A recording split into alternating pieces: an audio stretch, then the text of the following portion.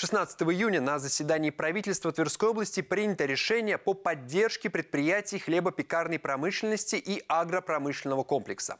Это позволит в том числе обеспечить стабильное ценообразование на хлеб и молоко. Хлебопекам возместят часть затрат, связанных с приобретением сырья.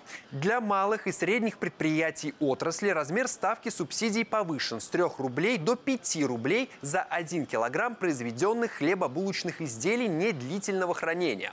Для крупных предприятий, чей годовой произведенный объем хлебобулочных изделий недлительного хранения превышает 5000 тонн, при расчете субсидий будут применять ставку 2,5 рубля. Это 25 предприятий, которые расположены практически во всех муниципальных образованиях. И нам очень важно, что это а, предприятия частные, рыночные, это а, средний и малый бизнес, который работает, это трудовые места, это более а, двух с половиной тысяч человек, которые трудятся. Ну и, конечно, стабильность цен на хлеб показывает умение руководства региона поддерживать социальную стабильность, потому что продовольственная инфляция – это один из показаний качества жизни на нашей нашей территории.